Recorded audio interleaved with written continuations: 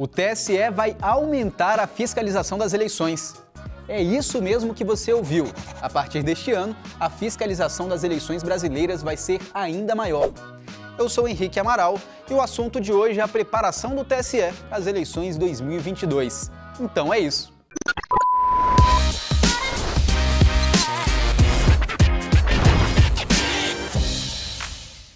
TSE aprovou algumas mudanças para as eleições 2022. Então presta atenção que é bastante coisa.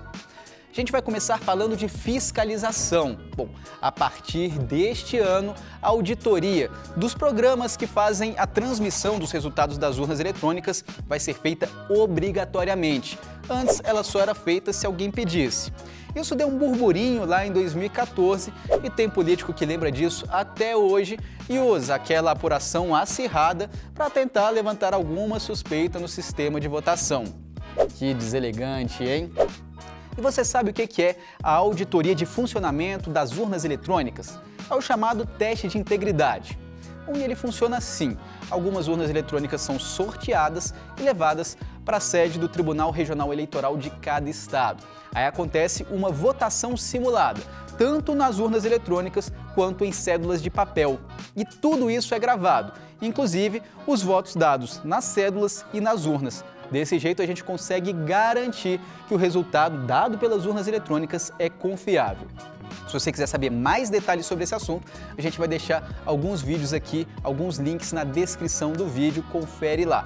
Pois é, e em outubro, essa votação, além de ser gravada, vai ser transmitida ao vivo pela internet. Então é isso. Também tem novidades relacionadas ao boletim de urna, que é impresso assim que a votação acaba. Bom, antes, o Tribunal Superior Eleitoral disponibilizava as versões virtuais dos boletins de urna três dias depois que a totalização acabava. E agora isso vai ser mais rápido. A partir do momento em que esses dados forem transmitidos, o TSE já vai disponibilizar essas versões virtuais. A gente também tem novidade que é o aumento no número de urnas eletrônicas auditadas. É com você, ministro Faquim.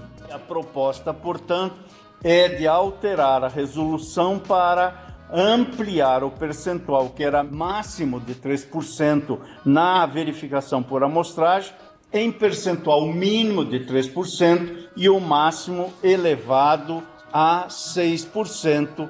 Bom, e a gente também tem novidade no calendário eleitoral.